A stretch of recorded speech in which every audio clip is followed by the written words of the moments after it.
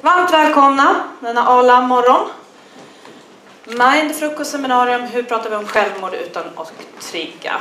Det är ett hett ämne, uppenbarligen så hett att vi ganska snabbt behövde byta lokal hit, vilket vi såklart inte är särskilt ledsna över. Både för att vara på nalen men också för att det är så många som är intresserade av de här frågorna. Att vi är det är ju ingen hemlighet, men det är också viktigt och härligt att se att det är fler. Ehm, jag kommer att berätta lite grann om upplägget, om hur den här förmiddagen, eller tidiga förmiddagen, kommer att vara upplagd tillsammans. Eh, och vi slutar klockan 10. Är det någon som behöver gå innan så går det självklart bra, men se till att smyga ut då så mycket ni kan. Det är ganska mycket akustik i lokalen. Eh, blir det bra med kameravinklarna? bra, perfekt. Eh, Mind en en delförening, obunden eh, och jobbar med kunskapsbildning, opinionsspridning och stöd. Stödverksamheter. Vi har äldretelefonen, föräldratelefonen och vårt flaggskepp Självmordslinjen. Sveriges första dygnet runt stödlinje för människor som är självmordsnära. Man behöver dock inte vara självmordsnära naturligtvis för att ringa. Vi finns dygnet runt för vem som helst. Um, idag, eller den här förmiddagen, så kommer vi att prata om självmord ur en del intressanta perspektiv. Till det hör vi en fantastisk, kompetent och intressant panel. Jag kommer att presentera dem väldigt kort. Sen kommer jag be dem prata och berätta lite kort om deras olika perspektiv på den här frågan. Eh, naturligtvis så är det här ett samtal. Jag vill att gärna ha en integrerad publik. Jag kommer att släppa in publikfrågor under seminariets gång. Är det så att det blir väldigt mycket så kommer jag att vänta med många till slutet. Vi får se hur pass mycket prat det blir. Eh, tio som sagt är vi färdiga och är det så att någon hittar någonting speciellt så får ni haffa vederbörande i så fall efteråt. Allt okej? Okay? Lurat? Mm. Bra. Mm. Eh, jag heter Selene Cortés och kommer att moderera denna morgon. Jag är eh, utbildningsansvarig och projektledare på Mind och jobbar med de här frågorna varje dag. Eh, till min hjälp så har vi en panel som består av Ulla-Karin Nyberg, psykiater och suicidforskare. Kanske världens bästa, höll jag på att säga, men en av Sveriges bästa. Eh, och också väldigt omdebatterad, ju med mycket. Eh, Ann Lichtenstein, företrädare och grundare av Udda, driver verksamheten. Också eh, egna erfarenheter som du pratar väldigt mycket om, om att vi mår dåligt. Eh, Mikael Westerback, Westerlund, förlåt. Du är eh, lektor i medieteknologi, mediekommunikation eh, och verksam både på KI på Stockholms universitet. Liria Ortiz, psykolog, psykiatriker, handledare och expert på MI. Hörs det när jag vänder huvudet? Vilket jag försöker vara lite trevlig, men de pratar väldigt bra. Eh, Shang Imam, journalist, anställd på Filt, jobbar som redaktör och journalist på P3 Verkligheten. Varmt välkomna hit. Och sist men inte minst, Carl von Essen, generalsekreterare för Mind, också grundare av och initiativtagare bland annat av Självmordslinjen. Varmt välkomna hit! Som ni ser så är det här en panel med väldigt olika infallsvinklar utav eh, självmordsproblematik och väldigt olika erfarenheter utav att beröra den på olika sätt. Eh, det är en väldigt komplex fråga naturligtvis och förhoppningsvis när vi gör här, går härifrån klockan 10 så har vi rätt ut begreppen en aning och känner oss kanske mer stärkta att våga ta i det här. Eh, jag tänker börja med att ni får göra en, en kort presentation om hur ni ser på frågan. För rubriken inför dagens seminarium är Hur pratar vi om det här utan att trigga? Vi behöver prata om det. All forskning, alla överlevnadsberättelser säger samma sak. Om vi hade pratat om det mer, vi behöver fler berättelser, vi behöver lyfta upp, vi behöver ta bort stigma, ta bort tabu. Hur gör vi det om vi inte kan prata om det? Och kan vi prata om det och i så fall hur? Så jag börjar med dig, Ulla-Karin. Hur pratar vi om det här? Utan att trigga. Och då ska vi se, nu får vi välja, nu har du den där, men ta gärna den och för den åt sidan om du behöver. Du får prata nära micken.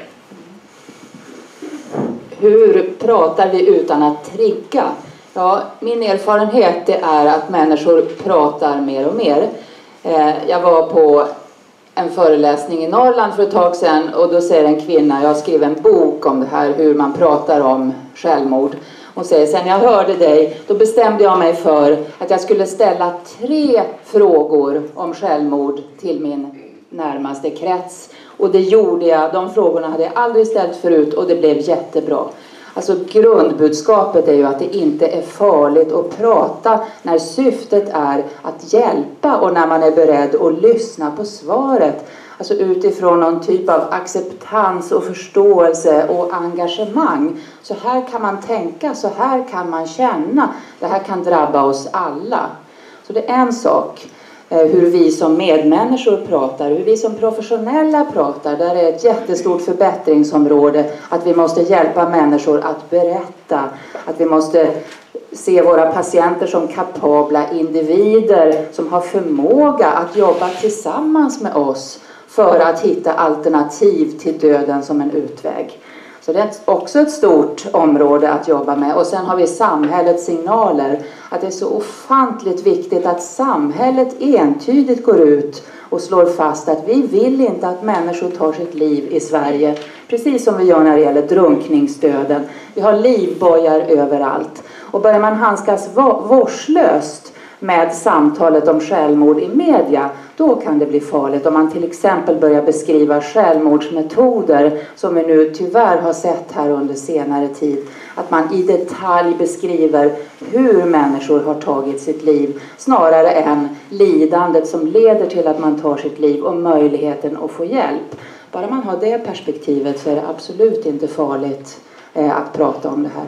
Det går att få hjälp Självmord är ett resultat av lidande, inte ett resultat av den fria viljan för det mesta. Mm. Tack. Ann, vad säger du? Du har två perspektiv att representera. Börja med udda. Förklara också vad det är lite kort för de som inte är bekanta med organisationen. Ja, eh, så här nära kanske man ska prata. Hör ja, ni mig Väldigt nära. Ja. Väldigt nära. Eh, Ann eh, Udda. Udda står för Ung Depression och dess anhöriga. Och vi eh, märkte för några år sedan att eh, jag själv hade gått igenom ganska svåra tider och märkte att det inte fanns den, det stödet ute i samhället som man behöver precis när man har gått igenom något svårt. Och jag ville inte att någon skulle behöva få lida på samma sätt så vi var tre personer som drog igång Udda som just handlar om att eh, göra det mer eh, accepterat att prata om eh, att må dåligt och självmord och de här tankarna och det är all, som, som du sa också, att all forskning tyder på att det är bra att prata om det. Och det som vi märkte saknades, det var det här att prata om det på ett personligt sätt. Att vara personlig med varandra, att vara, hitta medmänniskor. Och vi insåg det att jag, det var väldigt många som vände sig till mig och hela idén med Udde är att, att vi ska inte behöva vara en, en människa som tar emot allas tankar utan vi behöver vara en och en och prata med varandra. Så vi är väldigt många volontärer som alla har en person som man kan prata med. Och det är väldigt viktigt att kunna, när hoppet försvinner för en person som mår dåligt, att hitta ett vikarierande hopp. Och det, det utbildar vi väldigt mycket i, att medmänsklighet och att vara någon annans hopp.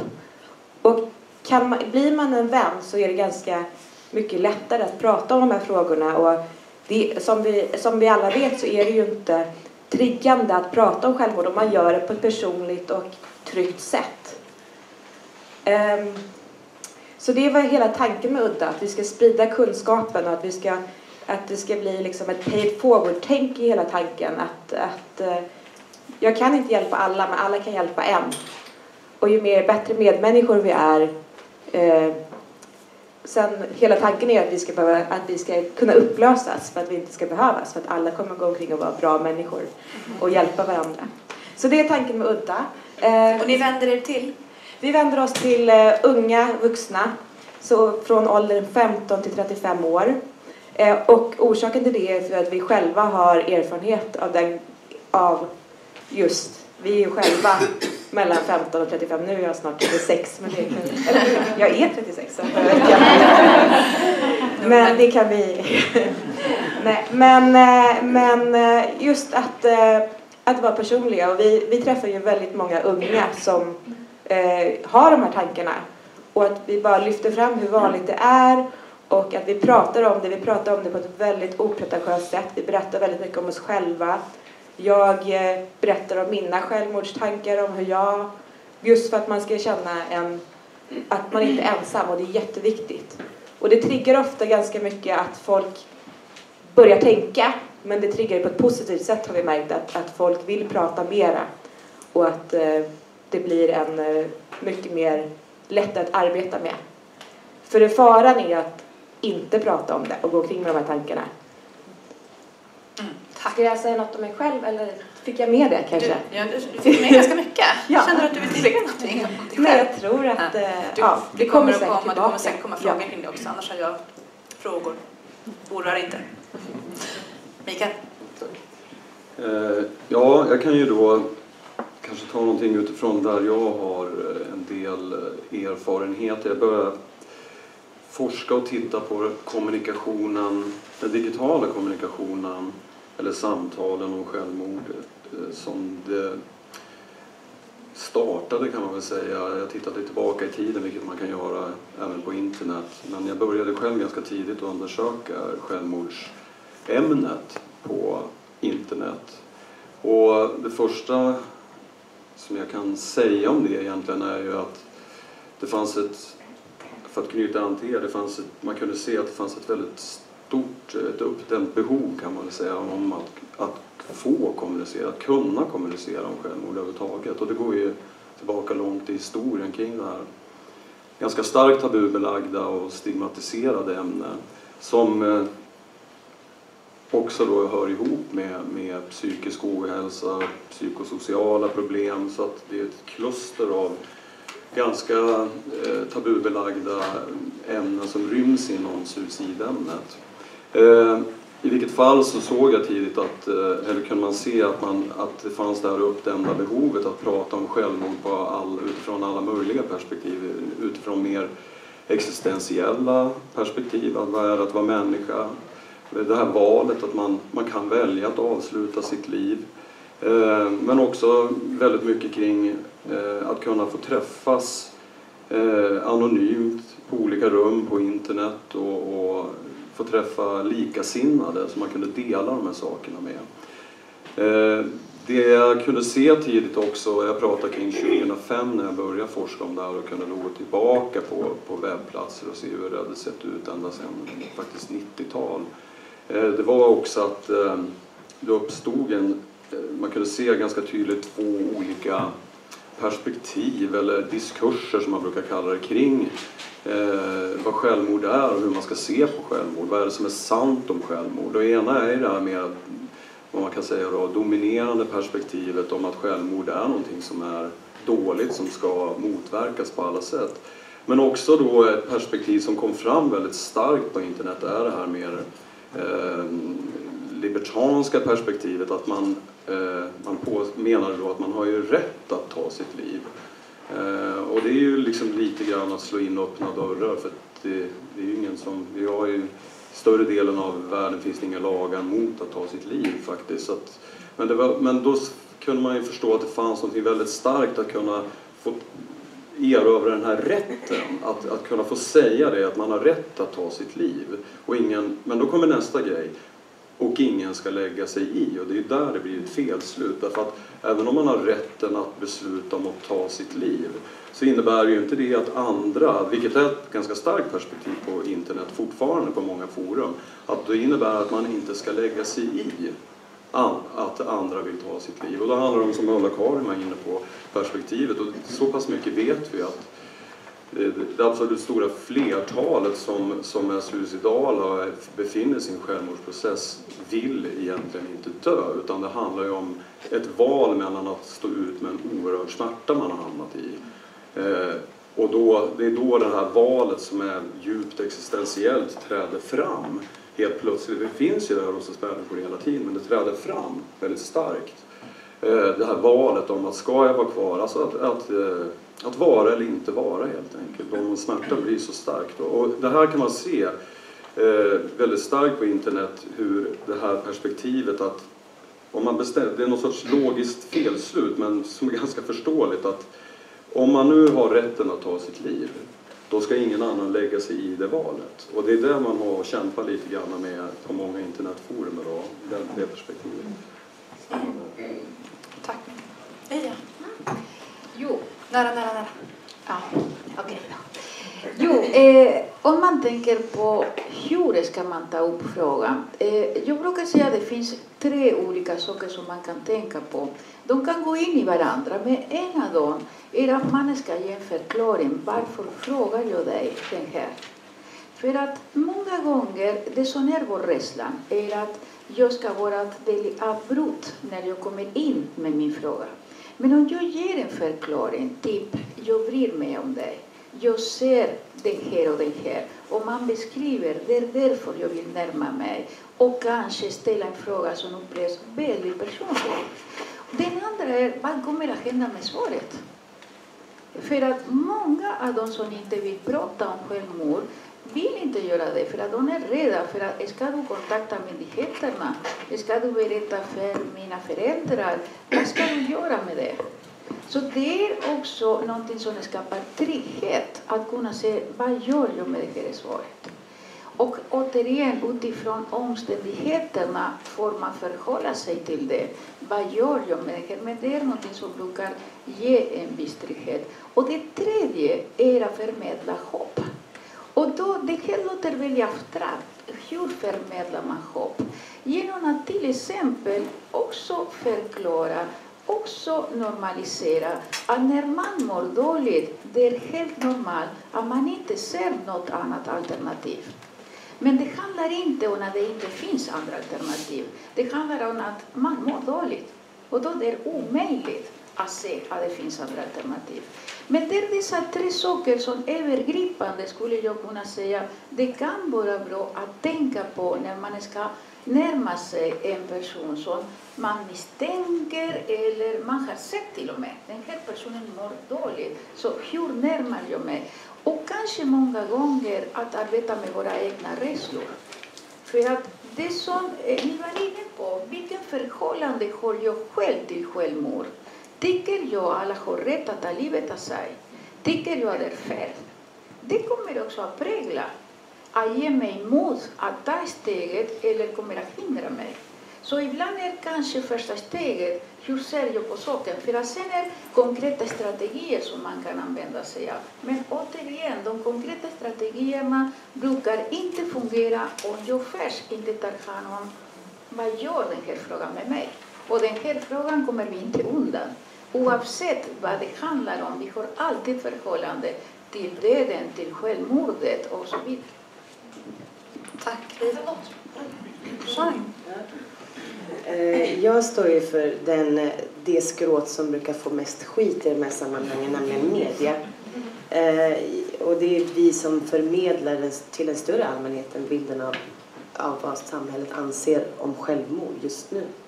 Eh, utifrån min yrkesroll som programledare och journalist så har jag träffat flera människor, individer som har lidit av självmordstankar. Jag har också träffat väldigt eh, många överlevare. Eh, jag har valt i mitt arbete att skildra deras perspektiv och deras berättelser. Jag kan gå in på det lite närmare senare. För det jag märker är att alltså, det jag gör i det samtalet med den personen jag träffar är att jag har då redan gått igenom det här som Liria så bra pratar om, mina egna rädslor och vad jag står inför de här frågorna. Nämligen att jag, ja, jag bearbetar mina egna rädslor och jag sitter kvar och lyssnar och pratar med den här personen. Berättar för den här personen om att den absolut inte är ensam. Och så har fallet alltid varit. Varje gång vi tar upp det här ämnet så får vi ett enormt gensvar av människor som har känt liknande saker, funderar på samma tankar. Och det finns en styrka i att förmedla så kallade då överlevares berättelser. Det ger en känsla av, av att man är en del av något större, att man inte sitter ensam. Ja, men jag kan gå in på olika fall lite mer och vilka regler vi har. Tack. Karl var nästa. Som eh, du nämnde så, så arbetar vi ju mycket med stöd eh, online via Självmordslinjen.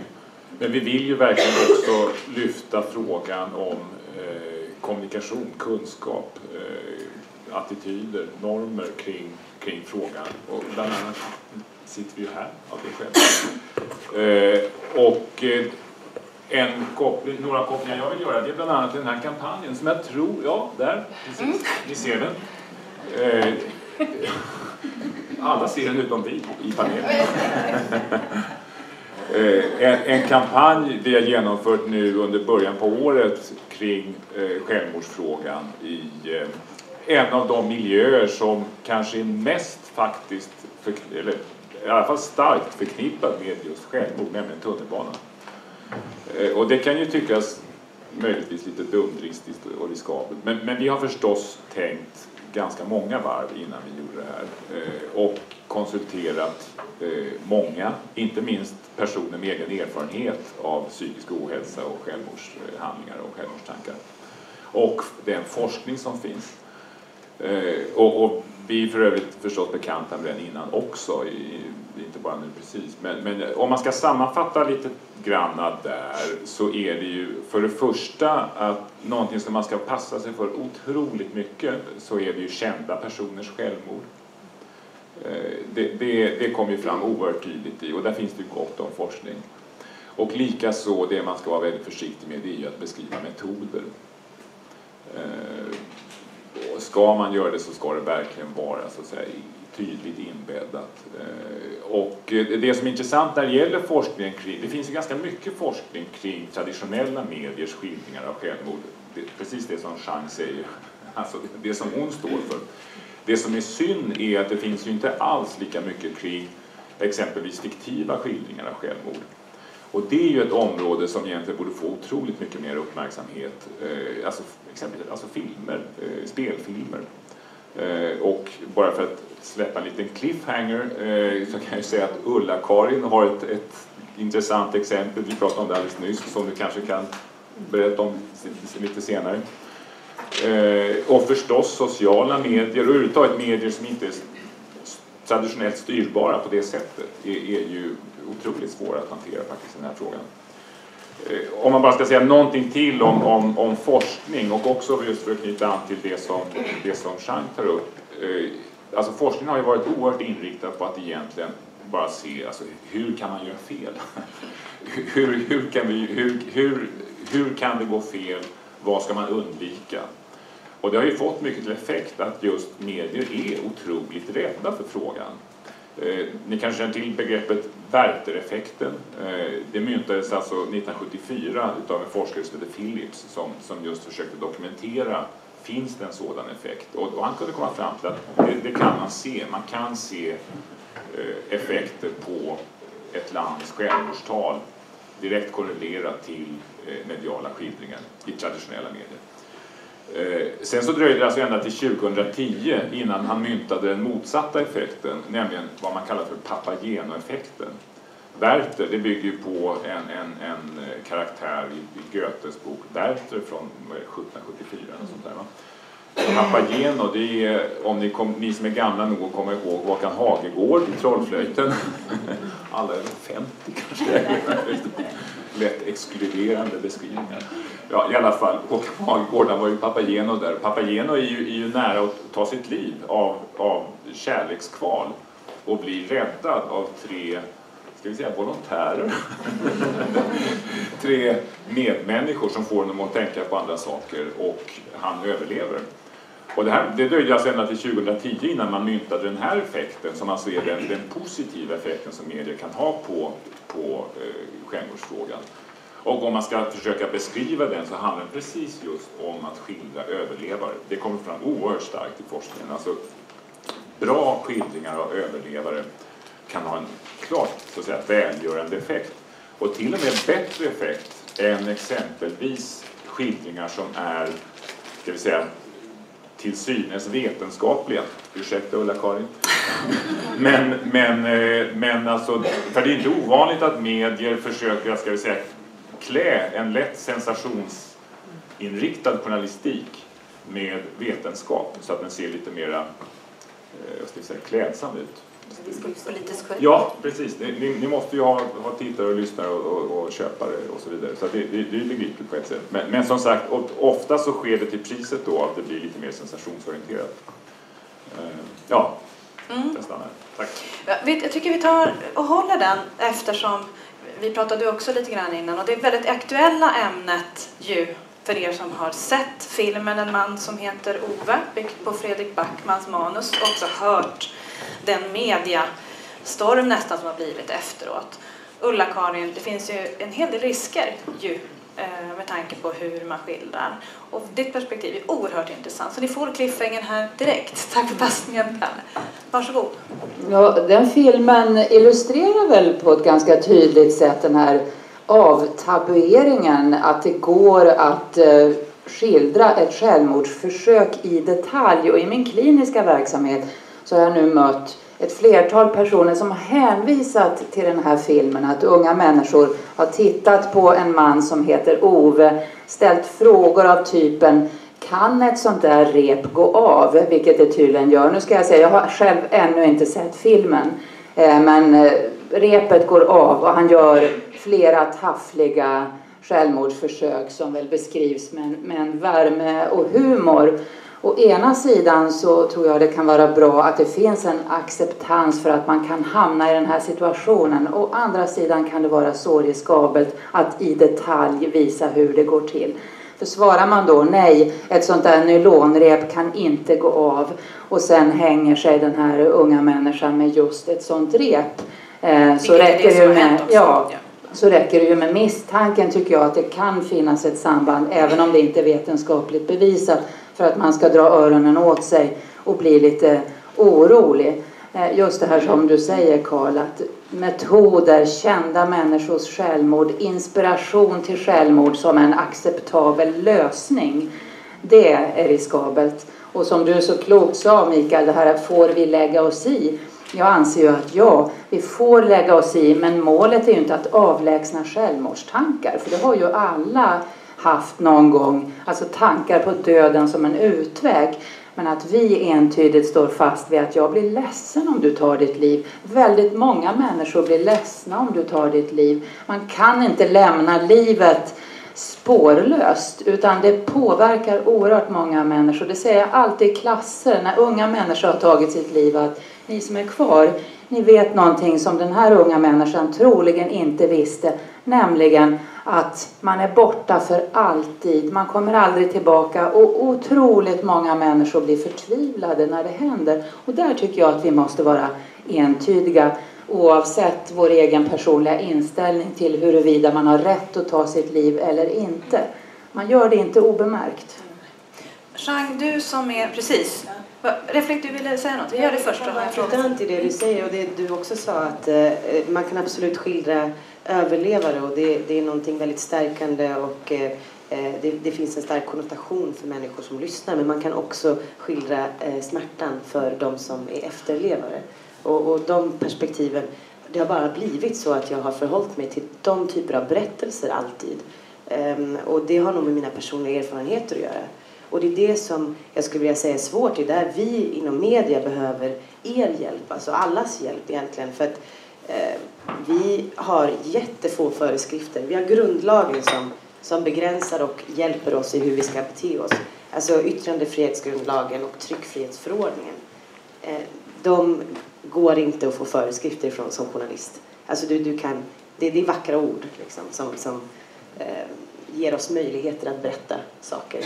Sen har vi liksom pressetiska regler till det. De är frivilliga. Alltså, och där finns det en punkt som pratar om privatlivets helgd. Eh, Alltså, jag vet inte vad det betyder egentligen. Väldigt diffust.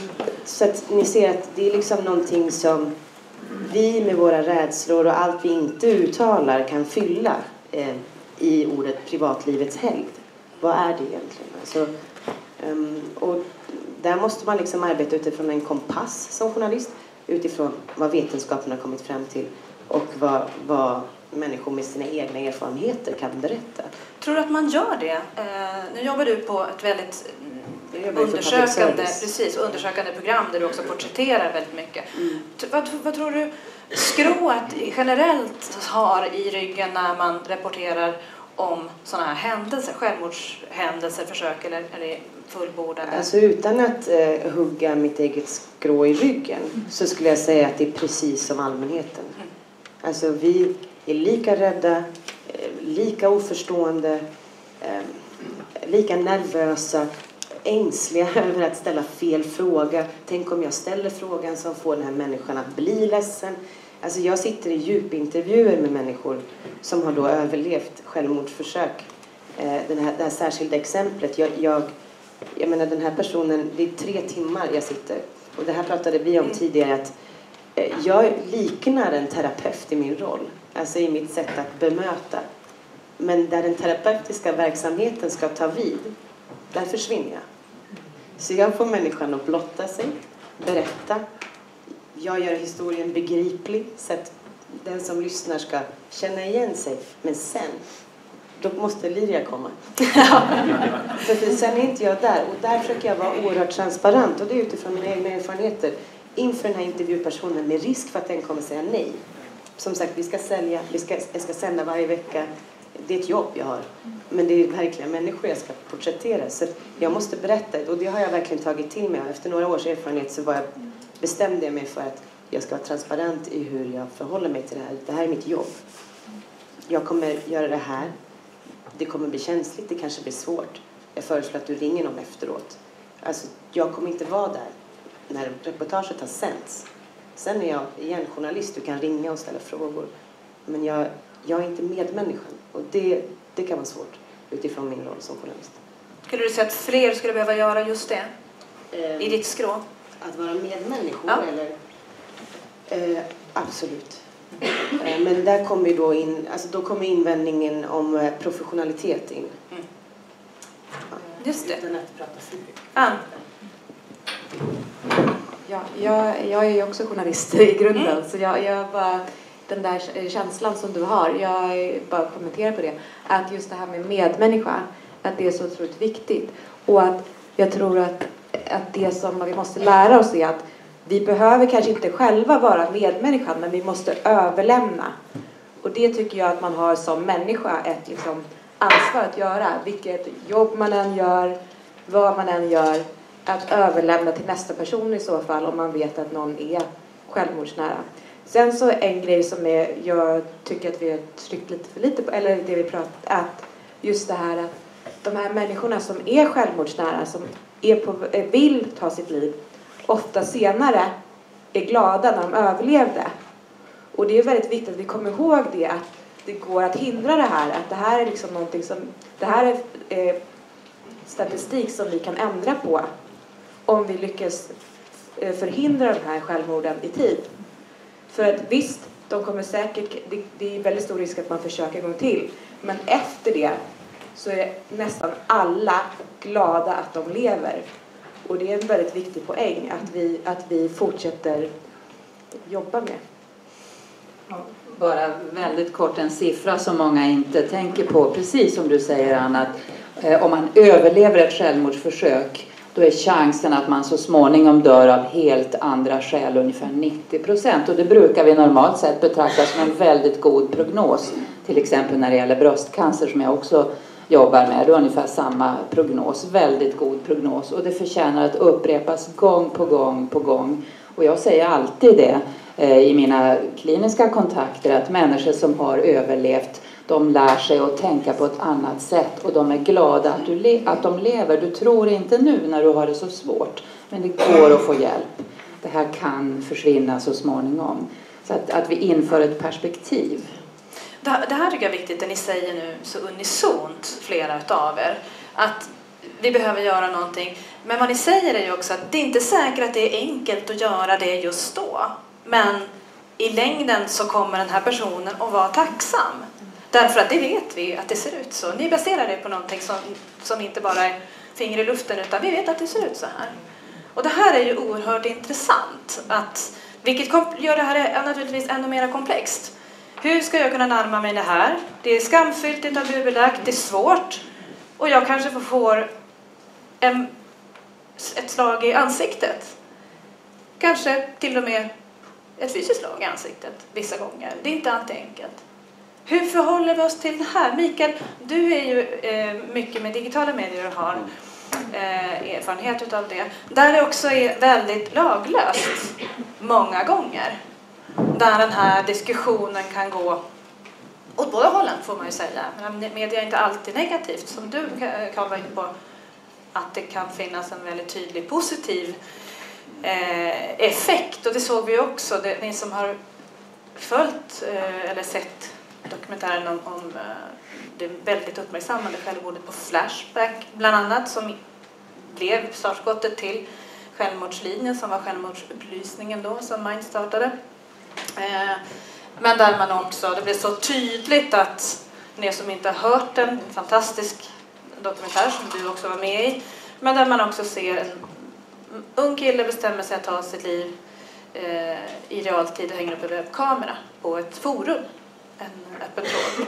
Eh, och det här blir naturligtvis följs av en massa personer där det blir två läger. Vissa hejar på och vissa säger nej, nej, nej, nej, stopp och försöker hindra, vilket också resulterar i tvivel. Men han lyckas till slut fullborda det här och det blir en enorm debatt naturligtvis och den pågår fortfarande. Vad tänker du kring det här? Det är komplext, det är svårt, det tar emot. Vi möter våra egna rädslor, vi behöver möta vår person, men vi behöver göra det. Och på sociala medier så finns det väldigt lite kontroll. Ja, i alla fall på en del sociala medier. Det jag inte sa förut heller när jag pratade lite grann om just den här kommunikationen på digitala medier är ju att eh, idag så är det så att den mesta av självmordskommunikation som sker eh, sker på internet och digitala medier. Så att det är ju då en kanal som är viktig om man tycker att det här är viktigt överhuvudtaget. Eh, att eh, ägna sig åt på något sätt. Och eh, ja, alltså det, internet i sin struktur redan från början startade ju med en öppen arkitektur och det får vi liksom leva med sen någonstans. Och det, jag menar, vi, vi kan ju hålla på att sätta lagstiftning till hur man får kommunicera och inte. Och jag vet inte om det gör så stor skillnad. Det är ett globalt medium, det är liksom ingen jurisdiktion som sträcker sig över. I Australien har man försökt förbjuda till exempel att skriva överhuvudtaget om självmordsmetoder som vi diskuterade. Även det förbjudet även på digitala medier. Men även i Australien så tar man ju del av eh, material som ligger på servrar utanför Australien så att säga. Så att det, det, är väldigt svårt att stoppa sånt och, så, och frågan är om det är rätt väg att gå. Men återigen så tror jag att, att återvända till det här eh, uppdämda behovet av att få diskutera det här med självmord. Eh, eftersom det är så grundläggande för att vara människa i världen, tankarna kring livet och döden och att vi faktiskt är en varelse som någonstans kan ta ett beslut om att vi, att vi ska dö för egen hand så att säga. Och jag tror att det här ligger så djupt och jag tänker på i nya numret här så tas det även upp de aspekterna som apropå det här med också hur medier rapporterar om självmord. Jag tror att en fråga Alltså när jag läste igenom det här numret igår så reflekterade jag över att jag under ganska många år suttit på olika, eller varit på olika konferenser och ofta slutar konferenserna att man säger så här att men vi vet, det är ett otroligt komplext ämne och vi vet, det är så mycket kvar att lära om det här, varför människor tar sina liv, vad det beror på. Men vi vet ändå ganska mycket, vi vet en hel del. Vilket borde faktiskt då leda till att 1500 personer i Sverige till exempel inte borde behöva dö i självmord varje år. För så mycket vet vi faktiskt. Och då tänker jag på den här samlade grejen. Hur fungerar medier? I Sverige är det mer så att det är den här underrapporteringen, att man diskuterar knappast frågor om, om livet och döden överhuvudtaget. I andra länder så vi har mycket forskning kring hur medier rapporterar om självmord. Det rapporterar man på ett väldigt sensationsartat sätt, vilket är då negativt. Man pratar mycket om självmordsmetoder och annat, vilket man då kan se ganska tydligt att det leder till faktiskt eh, copycat-självmord och annat. Eh, en annan bild, jag vet, nu svämmar jag ut lite från ämnet här, men, eller inte ämnet, men precis. Jo, precis, det är också uppkomsten av olika suicidkluster som också både sociala medier och mera eh, formella medier har en väldigt stor eh, del i att spridningen av den här typen av suicidkluster som, som uppstår. Men det, och medierna också, framförallt den här underrapporteringen men det också, finns ju också en medieverklighet och en, en annan verklighet eller flera verkligheter och det visar sig oftast att bilden som medier förmedlar av eh, till exempel självmordsfrågan är ju extremt annorlunda och väldigt fragmenterad mot för hur det egentligen ser ut. Till exempel att det är flest äldre människor som tar sina liv, ganska globalt och så vidare. Så att det finns många saker med det. Och de sociala jag menar att de sociala medierna och det digitala, det är inte en spegelbild för det finns nya villkor. Men det är också en spegelbild av, de, av det som faktiskt händer, alltså konsekvenserna av den typ av samhälle och kultur vi lever i. Det ser man liksom också på internet, så, det, det, så är det. Det behöver vi förhålla oss till. Ja, det är det. Och det finns väldigt mycket att göra. Lina, du ja, kände som att du fick någonting att säga. Eh, jo, för att jag kommer att tänka på det hela varje gång vi pratar om internet. Vi pratar om de negativa aspekterna med internet. Men internet kan vara en utmärkt eh, plats för att förebygga självmord. För att så som vi har uppsökande verksamhet på det, det verkliga livet, om man säger så, man kan också ha uppsökande eh, verksamheter via nätet. Man kan kontakta de som tänker på självmord. Man kan göra ett förebyggande arbete. Eh, jag menar, eh, jag reagerar alltid är att så fort man e internet nämns är negativt. Och jag tror inte på det. Jag menar om det inte hade varit internet, folk tog livet av sig tidigare också. Så det handlar om vad kan vi göra istället för att bara fokusera på det som händer. För att jag menar, det är bra att beskriva att internet har sina negativa sidor. Men jag tror att det skulle vara desto bättre om vi har ett konkret arbete, konkreta förslag på hur kan man arbeta i internet, där de personer som funderar på att arbeta, sig befinner sig. För att då tror jag vi kan komma väldigt eh, långt i det här arbetet. Och framförallt som sagt förebyggande arbete. Hur skulle det se ut ungefär? Just Om du fick bestämma? Att till exempel, tänk om man skulle befinna sig i Flashback. Tänk om man skulle befinna sig i alla möjliga forum. Och så fort som någon pratar om ah, jag har suicidtankar, då kommer en av våra volontärer och kan säga, du, eh, kan, kan vi ha ett samtal? Vi har otroligt mycket erfarenhet inom Mind om att till exempel ha chattsamtal. Så varför inte i det forum? Och då som sagt, det kan vara mig, det kan vara det enda som ni var inne på, medmänsklighet. Om jag noterar att någon håller på med sådana tankar, kan jag agera där, då, i den stunden. Men återigen, det skulle vara också vara en verksamhet för oss att kunna vara där och befinna oss där. Verkligen. Ulla-Karin, ni nickar unisont med ett leende på läpparna de flesta. Det är fantastiskt. Jag håller med om allt som sägs och vi måste ju finnas där människorna som, som brottas med de här problemen finns och sociala medier är här för att stanna och det finns oerhört mycket positivt med det. Men jag tror man måste vara väldigt tydlig med att människor tar ju inte livet av sig på grund av det som skrivs i tidningar eller det som visas i media eller det som man möter via internet utan människor tar livet av sig därför att man drabbas av psykiskt lidande som man inte uthärdar. Eh, depression är ju den vanligaste orsaken till att man hamnar i en sån här suicidal kris. Så det är problematiskt idag att så många inte får professionell hjälp. Att ungefär hälften i den här situationen som faktiskt tar sitt liv inte har kontakt med psykiatrin. Och att vi i vården är så inriktade på att avlägsna symptom och så lite inriktade på att hitta alternativ. Just det här, hur kan, jag, hur kan du och jag tillsammans hjälpas åt så att du kan hantera ditt lidande på ett annat sätt när du nästa gång hamnar i den här situationen. För det gör man ju. Livet innehåller en hel del lidande och det är väldigt mycket vi inte kan påverka. Så att det gäller ju verkligen att fokusera på det vi kan påverka. Bättre problemlösning. Hur gör man nästa gång? Hopp, symboler för hopp, det är någonting som jag jobbar jättemycket med nu. Även med svårt psykiskt sjuka människor. Att hjälpas åt att hitta symboler för hopp som kan knuffa mig i en annan riktning. Eh, det är oerhört kraftfullt att jobba så. Ann, du ville? Ja, jag tycker bara det du sa var precis det jag tänkte. Och att eh, eh, som exempel, vi pratade lite grann innan, att eh, jag, det som hände mig var att jag faktiskt träffade en läkare som gav mig det hoppet. Och jag har många, eller jag har journalister som hör av sig eller andra som hör av sig och säger Ja men du, du, du var ju stark, säger de till mig. Och jag brukar säga det, jag var inte stark. Jag var inte stark alls.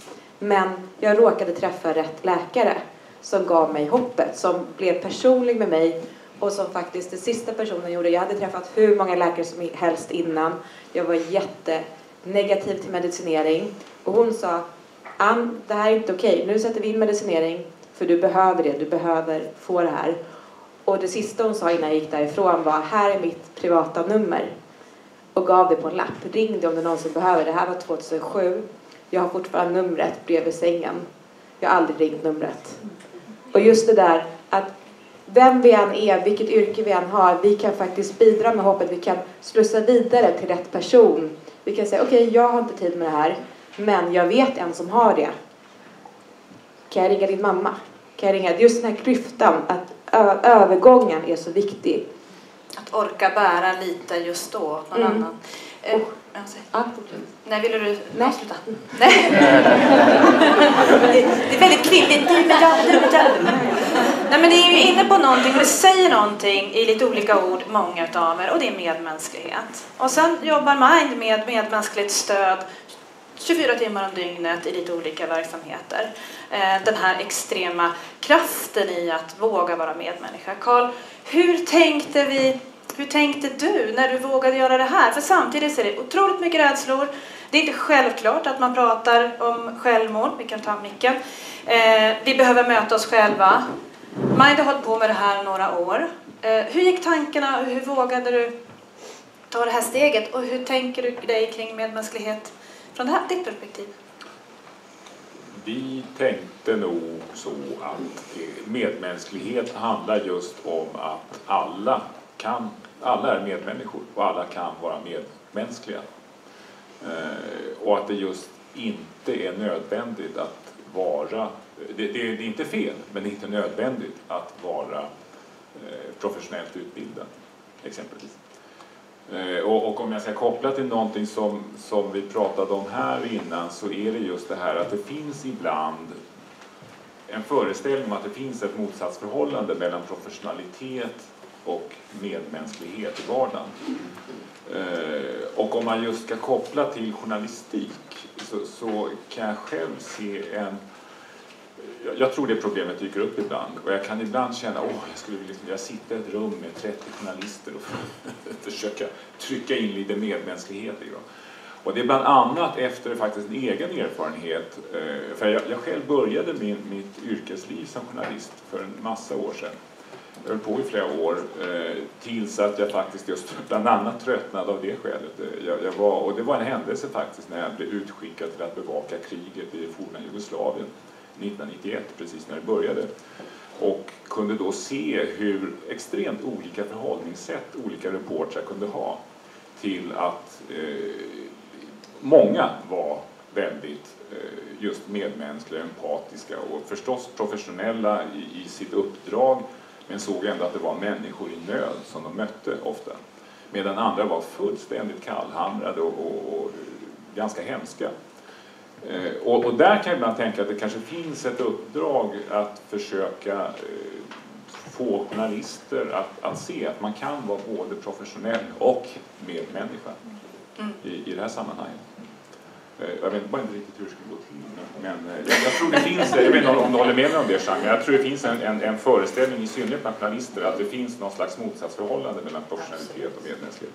Ja, jag skulle säga att det förhållningssättet finns i alla skrår, alla kårer. Eh, det är liksom inga, det är ingenting som är utmärkande. Jag, jag är egentligen jurist, men jag arbetar som journalist.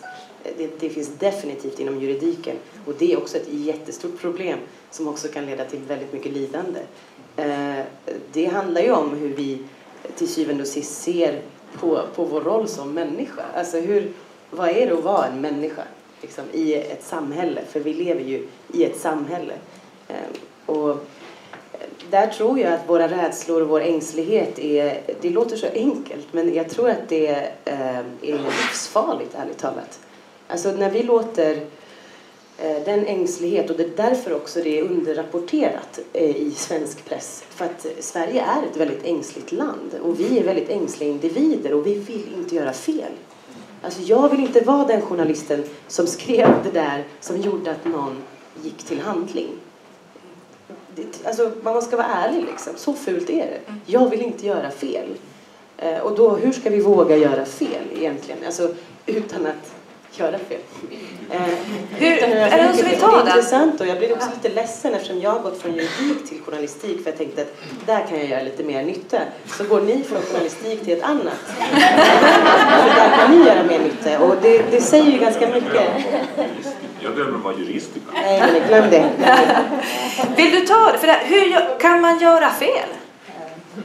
Ja, men det är väl underbart här. Det visar ju att vi alla behövs och det här gränsöverskridande, det, det, behövs ju också. Men göra fel, alltså det jag tror behövs, det är ju mötesplatser.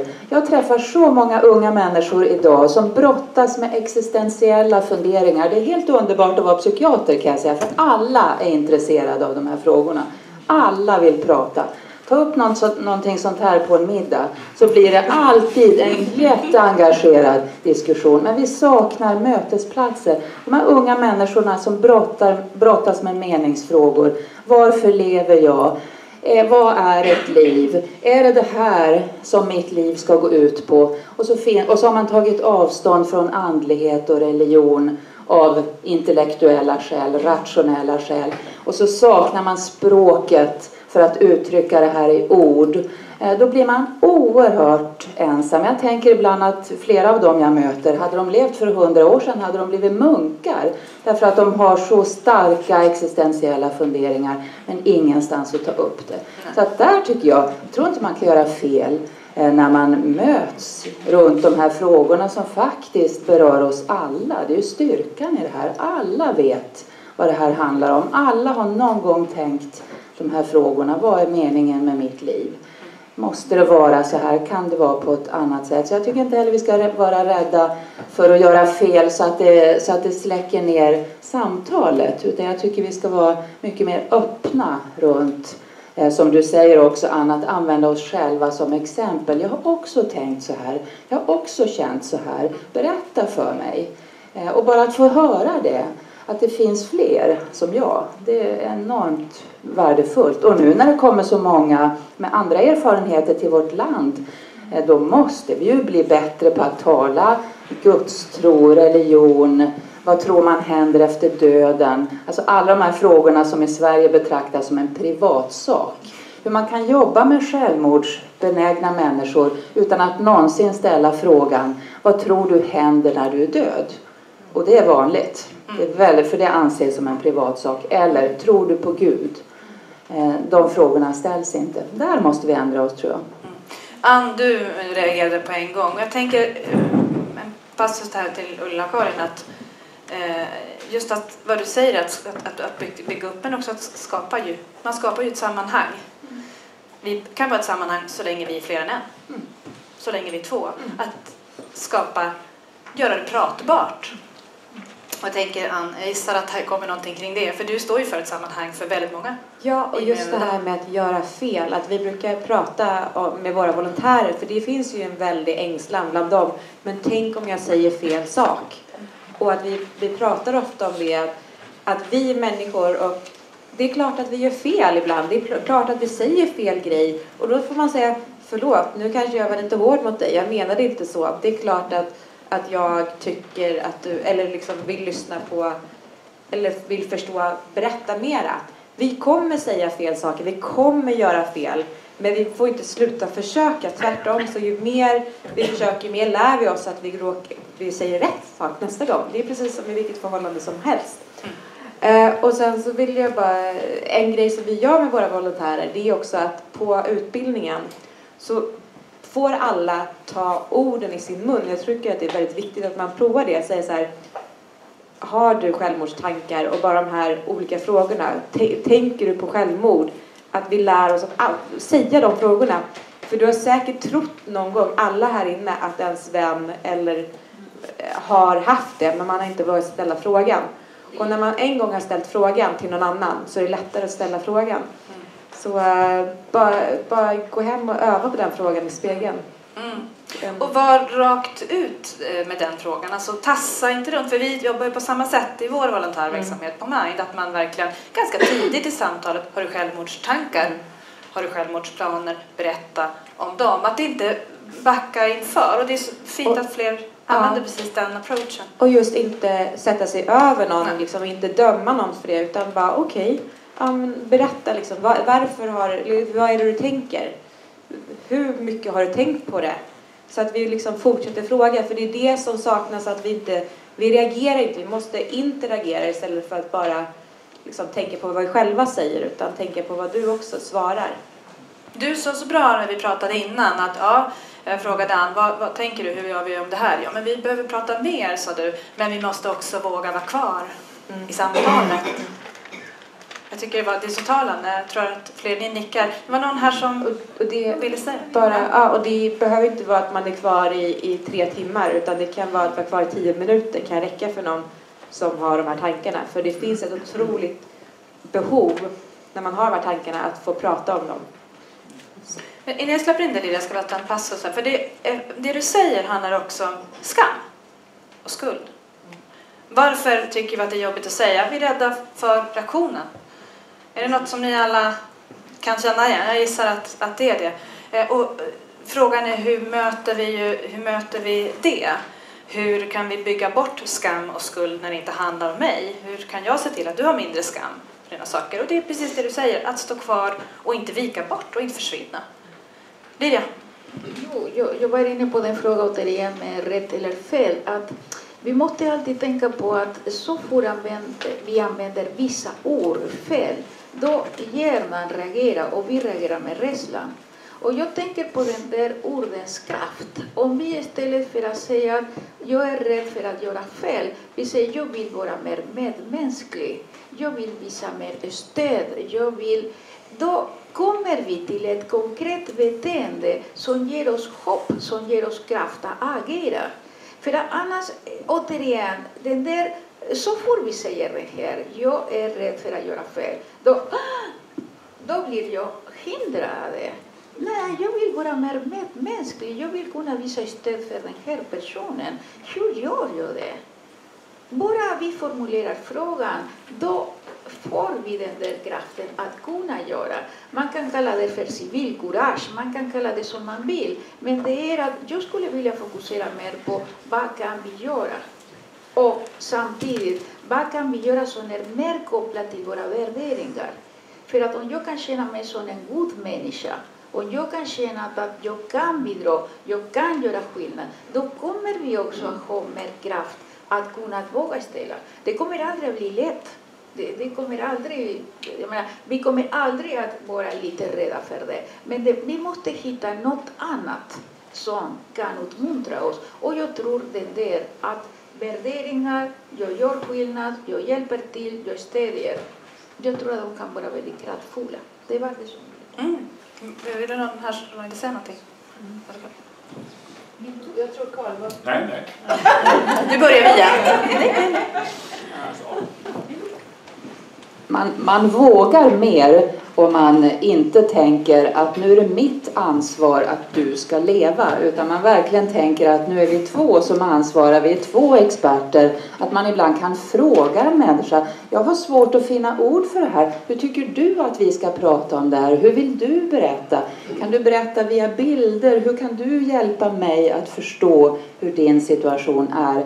just det här att tro att det finns ett rätt sätt att göra och ett fel sätt att göra, det är ganska riskabelt. Jag tycker i vården eh, att vi ofta lyfter bort kompetensen från dem som vi möter det som att bara för att man har satt sin fot i psykiatrin så ska man lämna över allt till en så kallad expert. Nej, vi är två experter eller fler experter om vi tar, tar med närstående. Vi kan hjälpas åt för att hitta ett fungerande språk. Vi kan hjälpas åt för att hitta ett fungerande förhållningssätt. Och det gör vi för lite tycker jag. Mm. Ja, ja precis. Mm. Jag tänkte också bara apropå det här med eh, det här att det finns ett behov av att kunna prata om de här sakerna och eh, återigen knyta an till dig också givetvis det här med att internet är inte bara någonting dåligt. Men eh, i de här, det är just det här uppdämda behovet återigen som man kan se eh, att människor träffas på olika forum och har gjort det sedan internets begynnelse, tänkte jag säga, bara för att få prata om det här. Därför att, och det man starkt uttrycker är ju också att det finns ingen annanstans att prata om det här som man upplever det. Och här försöker man då trevande, oftast unga människor trevande, att kunna nå fram till varför man känner sån stark ångest och så, så inför livet och hur man ska kunna stå ut och vara i livet. Och många uttrycker på olika forum att man har en historia när man sökt hjälp eh, inom både psykiatrin och andra sociala myndigheter och man når inte fram. Man, man, man får inte svaren där så då trevar man och försöker hitta svaren hos varandra. Och ofta går det bra. Man stödjer verkligen varandra. Men om, jag tänker ibland behövs det andra röster där och det är det man kan sakna. Om man skulle kunna hitta ett sätt att kunna nå fram, att utbilda moderatorer med att vara på den här typen av forum för att inte man ska stanna där och så börjar den här nedåtgående spiralen. Man kommer inte vidare i sina tankar. Va? Men man, man stöttar varandra ganska bra för att man äntligen får ett svar av någon annan som faktiskt kan försöka trevande ha det här medmänskliga samtalet. Och så väldigt inte, sällan är kliniskt, eller hur? Ja, där man inte har de här asymmetriska positionerna. Att jag är över dig, jag säger åt dig hur det ska vara. Utan man söker sig fram tillsammans i vad det här är för någonting. Mm. Och det tror jag är oerhört viktigt. Ja. Mm, mm, just det, intressant. Sitter du vevande så skulle ni få komma in sen. Jag kan kanske bara slänga ut en sak. Det, det, jag har inga bra svar själv på det, men det är ju faktiskt hur nå ut till en grupp som är rätt stor och som är ganska dålig på att prata och som är tyvärr väldigt bra på att ta, begå självmord, och det är män. Ja, just det. Men, men det, det vore intressant att höra idéer om hur man faktiskt når män. Vi, vi vet ju att 70 procent av alla självmord begås av män. Vänta, vi ska bara släppa in Jonas här som har så Ja, Jonas Mosken heter jag sitter i styrelsen för MAG. Jättebra panel och jättebra diskussion. Jag tänkte slänga in några liksom komplicerande frågor. Det handlade dels om kändisar och det här om fiktionen och självmord. Så när, det, eh, när det gäller kändisar finns det ju många uppmärksammade självmord där, som väcker väldigt mycket sympati och många berättelser. Både internationella och så att säga svenska personer. Och så blir det mycket frågor. Eh, man kan gå in på Flashback och läsa tråden. Hur var det med Josefin Nilsson? Liksom? Var det självmord eller inte? Den typen av spekulationer pågår. Eh, och sen så har vi fall som Malik Bendjelloul och andra som, eh, där det har varit mycket sympatiskildringar också. Så det, det är en, jag har inget bra svar hur man ska göra. Men, och sen vill jag också ge lite mothugg till Ulla-Karin här. Det finns ju också skönlitterära och filmiska beskrivningar av självmord som, eh, som jag skulle vilja ta upp. Det finns till exempel Arto Pasalina, Kollektivt självmord. En fantastisk bok där två män träffas i en lada och ska hänga sig. De träffas av en slump och sen så bestämmer de sig för att sätta in annons efter människor som som ska samla ihop ett gäng som ska ta livet av sig. Till slut blir de med en busslast och sen så när, åker de runt och eh, upptäcker att det är så pass fantastiskt trevligt ändå att umgås. Eh, eh, så det är så att säga en, en positiv sida. Det finns Virginia Woolf, eh, Timmarna, man får se hur hon eh, försöker ta sitt liv i, i floden. Det finns eh, en annan, Oslo 31 augusti med två självmordsförsök. Det första där man försöker stoppa stenar, hoppar i vattnet, ångrar sig och sen så kommer ett andra självmordsförsök med lite dubbel utgång.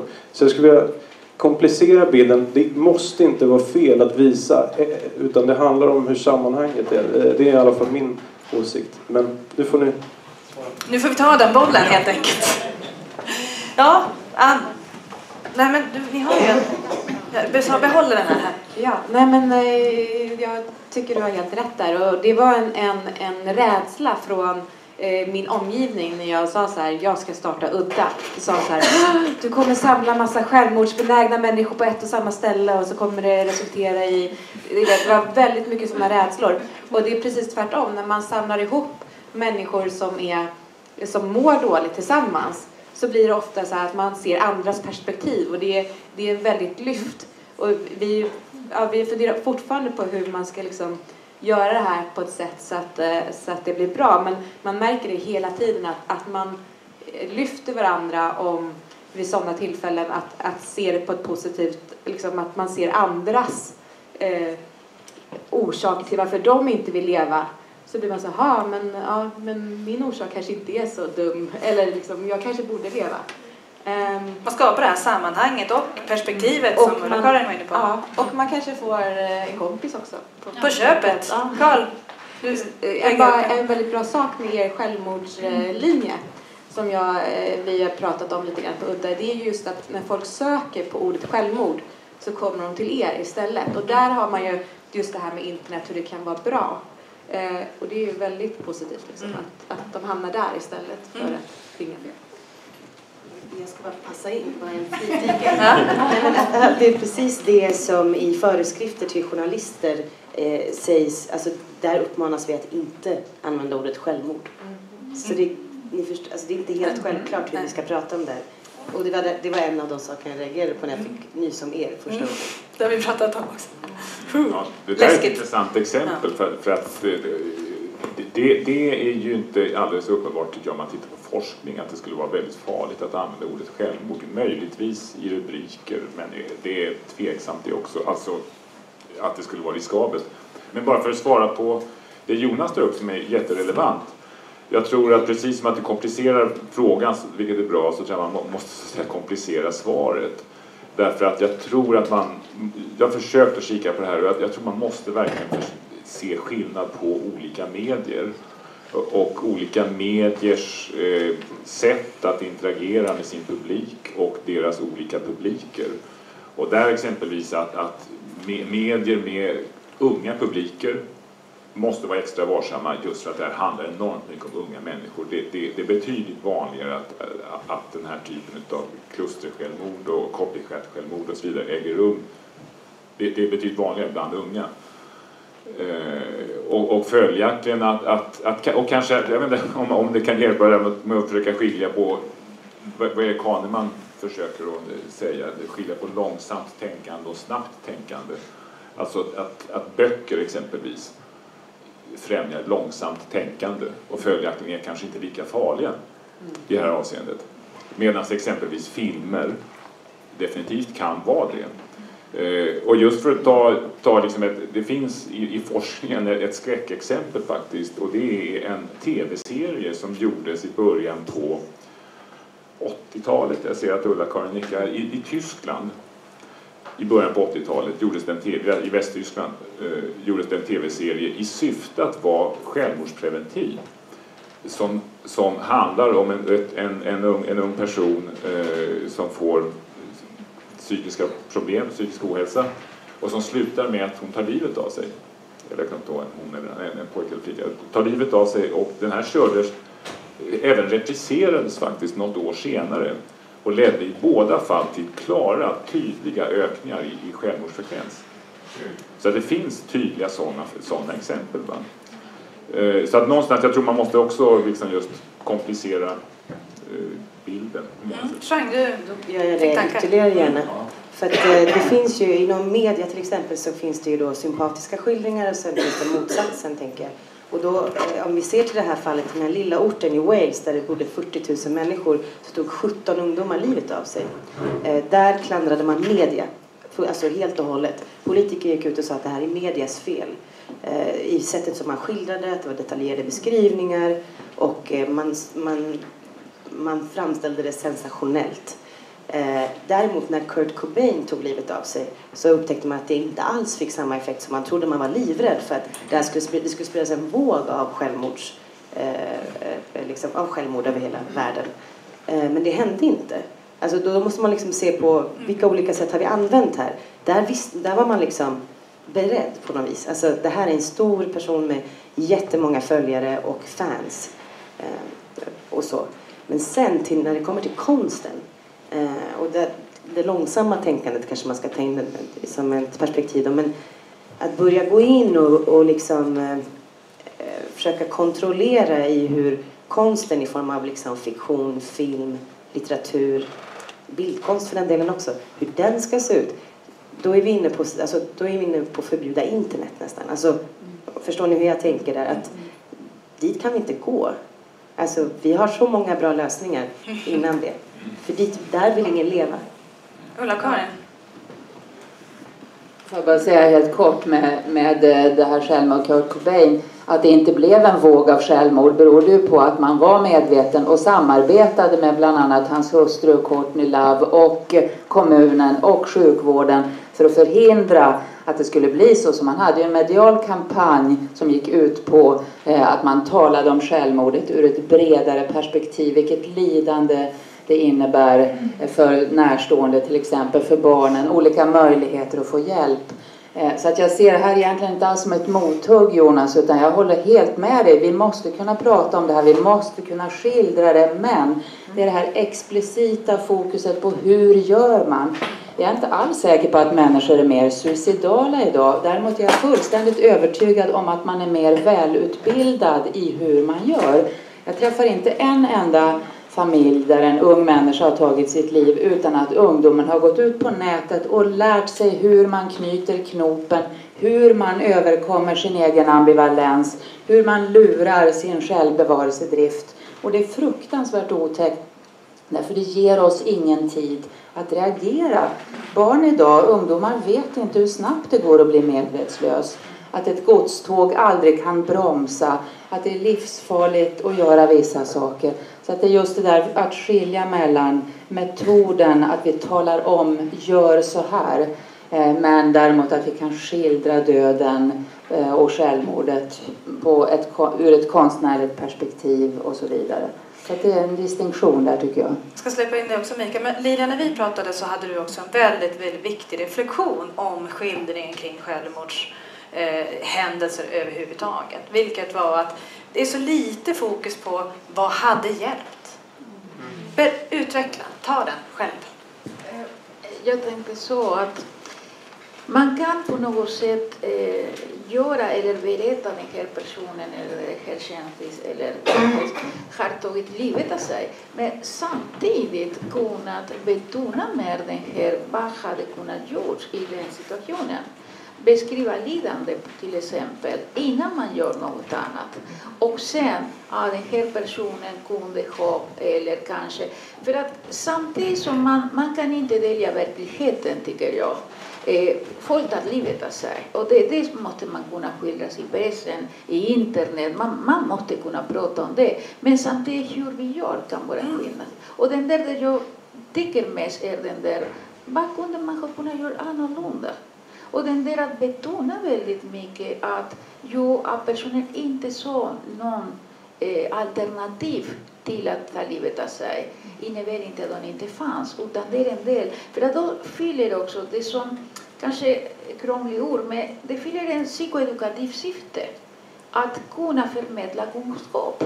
När du mår som sämst, när du vill ta livet av dig, när du inte finns, ser inte några alternativ, Tänk på att det ingår i att må dåligt. Det är en del av må dåligt. Så gör någonting. Tro inte på dina tankar. Tro inte på dina känslor just då. För att de säger inte, de speglar inte verkligheten. Den typen av saker skulle jag vilja man skulle kunna förmedla mer. Oerhört viktigt. Mikael, du var... Ja, bara kort. Jag tänkte för att ytterligare komplicera den här bilden av forskningen kring medier. Så för det första så är det att man i princip nästan enbart har tittat på väldigt kortsiktiga effekter. Alltså vad händer precis när det här publiceras och närmaste tiden efteråt. Eh, och det gör, alltså den här forskningen är, den är, det är inte enkelt alltså att se vad, alltså man diskuterar det här och har gjort det i decennier. Alltså styrkan och svagheterna med den här forskningen. När man är alldeles säker på att just den här publiceringen verkligen ledde till det. Så finns det några cases som är lite säkrare än andra. Men den här forskningen har ju faktiskt också visat att just fiktion har en mindre effekt än, än nyhetsbevakning och nyhets... Och då menar vissa i sin tur att ja, men det är bara för att vi har tittat mycket mindre på fiktionen och undersökt det mycket mindre än nyhetsmedierna. Men det kan ju också vara någonting med hur vi människor kan identifiera oss. Det kan ju vara att, vi, att det är starkare att identifiera sig med en verklig person som faktiskt har tagit sitt liv än med fiktionen. Mm. Det kan ju ligga någonting i det. Men det jag vill bara säga kort om det är att det, det vi och många pratar om när det gäller forskning kring det här, det är att vi måste titta på mycket mer långsiktiga effekter. Alltså hur är medierna med i samhället och kulturen att forma bilden av vad, vad till exempel självmord är och står för. Vad är det, vi vet ju idag, vi lever i ett genommedialiserat samhälle. Vi får de flesta våra föreställningar och idéer och till och med identiteter via medierna någonstans. Så att, då måste man titta mycket mer på långsiktiga effekter kring det här. Så det är en stor, en stor utmaning, eller vad man ska säga. Mm, eh, Ann, kort. Bara utveckla det eh, Lydia var inne på också, eh, konkret vad som hade hjälpt. Jag har en vän som tog livet av sig för ett år sedan och då, då pratade vi om det här med klyftan, att när han skickades hem från vården, han skrev in sig själv, han sa jag är självmordsbenägen, var inskriven en vecka och sen så skickades han hem Eh, när han liksom säger ah, men nu är jag redo att åka hem och den kvällen tar han livet av sig. Och eh, när jag, eh, jag har aldrig själv varit inskriven men däremot har jag varit inskriven för att jag bröt tummen. När jag skickades hem från att jag bröt tummen så sa de det kan du ringa någon. Du måste ringa någon som kan vara hos dig i natt. Klappa din tumme. Ja. ja. men, och det finns det inte när de skickas hem. Och, där, och det är läkare som har hört av sig till mig och sagt så här ja det här är ju helt sjukt och som har velat diskutera det här med mig. Varför finns det inte den frågan när man skickas hem när man är självmordsbenägen? Varför är det ingen som säger, finns det någon som kan vara hos dig? Kan vi ringa någon? Har du en, en anhörig? Och, och där behöver vi utbilda vården på det sättet. Där, där är det en klyfta, ett glapp. Mm. Och den, den hör ju vi konstant, och det gissar att ni gör i er volontärverksamhet också, att den här myten om Eh, och det ska jag säga också att det finns väldigt mycket fantastiska möten men myten om det här ganska tråkiga mötet i vården tyvärr inte en myt. Det är för många som vittnar om samma sak. Och just att kanske den kliniska expertisen och medmänsklighet inte nödvändigtvis är ihopkopplad i alla sammanhang. Vi behöver börja avrunda men jag har en fråga till Karl.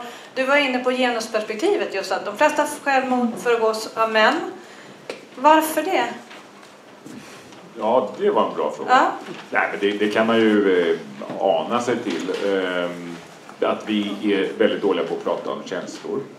Vi är dåliga på att underhålla våra nätverk. Vi, vi lever, eh, vi kanske inte lever i ensamhet, men vi lever i ensamhet med våra känslor. Mm. Vi har ideal som är, är väldigt destruktiva.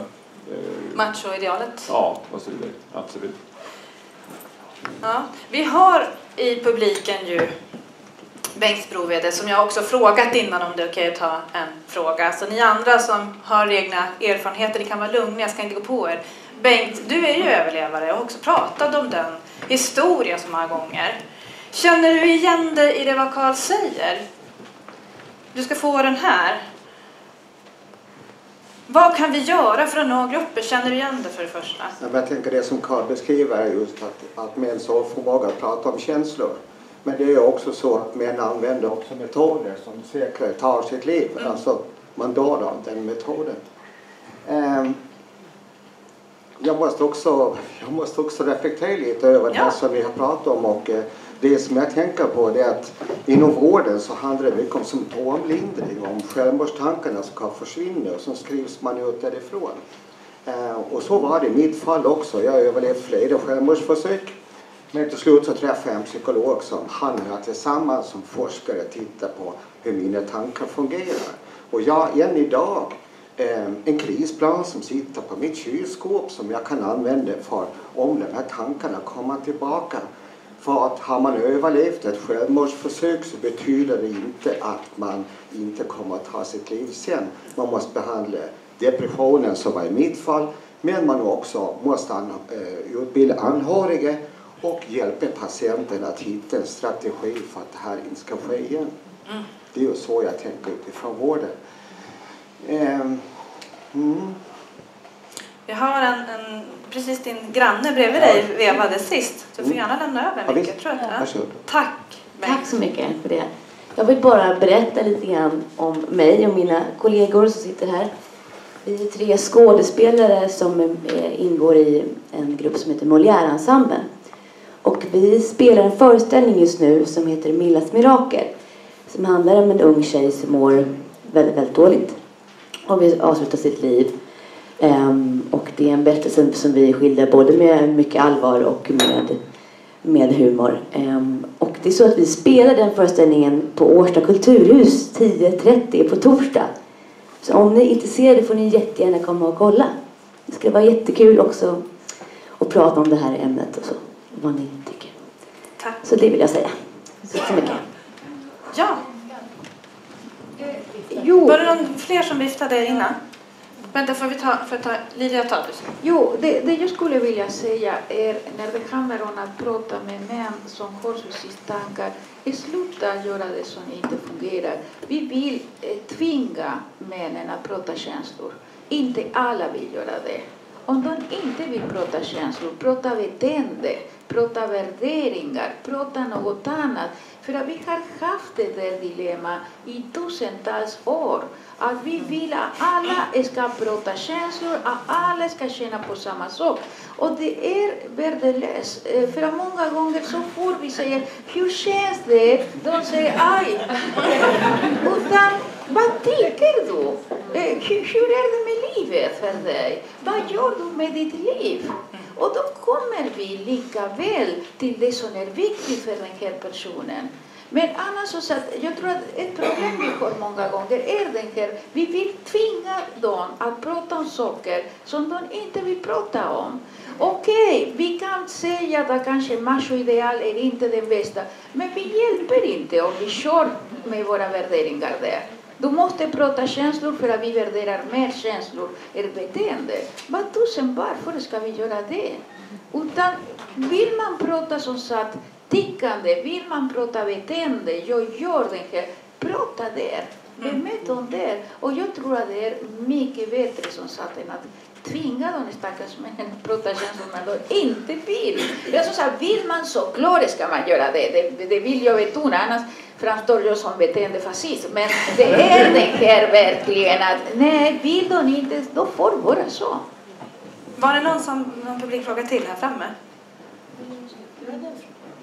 Du viftade med kommentar, men jag vet inte om det är tid. En kort kommentar. Är det tid? Kör. Ja, jag ville eh, berätta kort om en situation jag var med i eh, för ett par månader sedan. Det handlar om en man och det som skulle ta livet av sig. Och det berör väldigt mycket av det som många av er har sagt. Va? Alltså det, eh, jag, jag är inte oerfaren på att tala om självmord. Jag är präst och psykoterapeut och psykolog och jobbar på ett ställe där människor har trillat ur arbetslivet och har psykisk ohälsa. Där finns jag för samtal. Och då blev jag uppringd eh, för några månader sedan. Jag hade gått och lagt mig 2011. En av de som jag ofta har samtal med. Och han eh, ville ta livet av sig. En man i 50-årsåldern och hade supit rätt friskt ett tag för att döva ångesten. Och efter en timmes samtal så insåg jag att jag, hade... jag klev upp och åkte taxi hem till honom då. Och eh, eh, det här man, alltså ibland ställs ju allting på huvudet. Det här var ju som en svinstia och han sa att det räcker nu, jag, jag orkar inte mer, jag kan inte mer. Va? Och jag, alltså hade jag börjat komma med något hopp eller det eller det eller säga emot honom så hade jag slagit honom i huvudet på något sätt. Va? Min känsla var att det handlade bara, bara om att vara där och vara närvarande. Och det är också sådär att jag kan inte säga att jag liksom när jag satt där visste vad jag skulle göra. Vi satt i köket i en total svinstia och jag fick störtnedsblod mitt uppe i alltihop. Och han sa att nu räcker det, nu räcker det och jag kan inte mer. Va? Och jag vet då att han har en person, jag har ju haft många samtal, jag har en personlig gudstro. Han har det alltså. Så jag, jag frågade också då, har du, har du pratat med Gud om det här? Ja, det har jag och han förstår att nu räcker det. Så det var ju inte någon direkt möjlighet. Va? Men jag tänker också då, alltså en sak som var jätteviktig för honom. Det var att jag skulle lova honom att sätta ner hans urna i jorden. Utan några ceremonier och inte med några anhöriga. Och det lovade jag. Och det var jätteviktigt för honom. Men det är inte precis det här man lär sig på pastoralinstitutet. Att när man ska själavårdande för någon, när man ska ta livet av så ska man lova att sätta ner hans urna i jorden. Men jag, jag tänker också då hur jag jag menar, jag har hemskt mycket utbildning och allt sånt där. Och jag har en hel del erfarenhet. Och jag, vad, vad jag sa och vad jag gjorde, alltså... Lever jag, så, ja, det gör jag. jag sa inte så mycket. Och jag vet att jag någon gång som, alltså blev som en femåring som sa jag vill inte att du ska dö. Alltså det, man kommer, jag tror det där du säger att det blir ytterst, när man sitter i en sån här situation så är det bara man själv som är kvar va? och ytterst medmänsklighet. Ja, vad fint. Hörni, kära vänner, tiden börjar rinna ut och jag tänker göra en snabb summering och så får ni rätta mig om jag är helt ute och cyklar. Det är svårt att prata om självmord men vi måste göra det. Man kan göra det. Det är otroligt komplext. Det vi kan ha med oss möjligen, eller ska ha med oss, det är att våga se komplexiteten, våga se Hela människan låter som en ganska dålig klyscha som man använder. Men att faktiskt se att den här personen befinner sig just nu i en speciell kontext som består av flera olika delar. Där förnuft just då inte riktigt är den dominerande. Eh, och just därför kanske våga kliva in, att vara medmänniska, att lägga sig i och att våga se det. Men kanske att tala om vad det är man gör. Jag tycker det var så fint också eh, Ann berättade att för dig var det en läkare och jag vet också i annan forskning när man jobbar med utanförskapsgrupper, eh, utanförskapsgrupper så handlar det ofta, den stora skillnaden till förändringsarbetet, för det är inte bara liksom en sak och det tar lång tid, men det initierande brukar vara en person. Jättetydligt.